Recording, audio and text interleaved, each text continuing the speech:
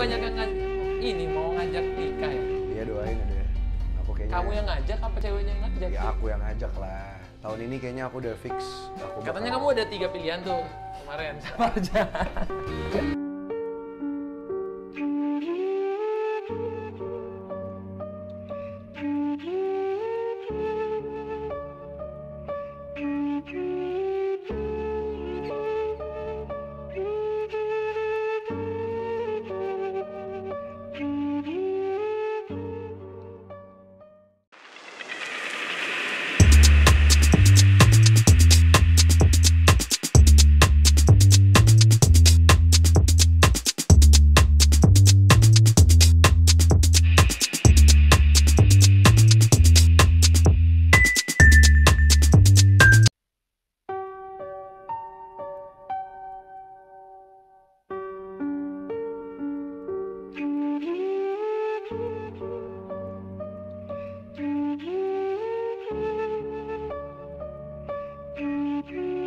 Ferel Bramasta ngaku nikah tahun ini ke Atta Halilintar saat grebek rumah baru.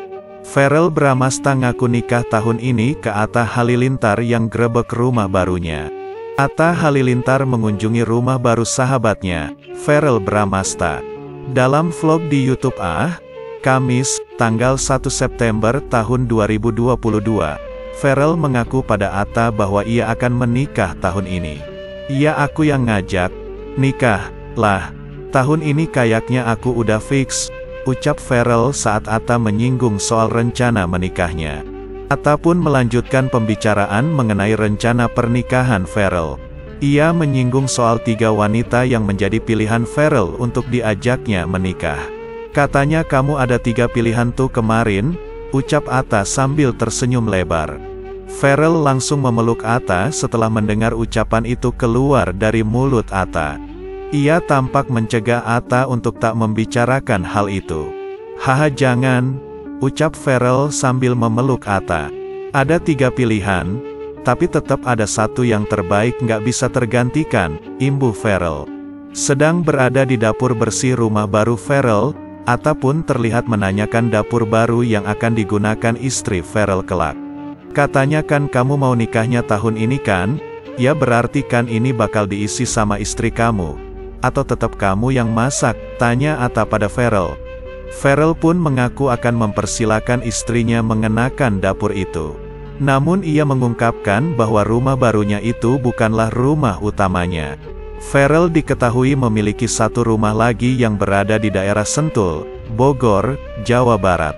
Kedua selebritis itu tampak berkeliling rumah baru Ferel Bramasta. Rumah itu merupakan hasil renovasi dari rumah lama Ferel.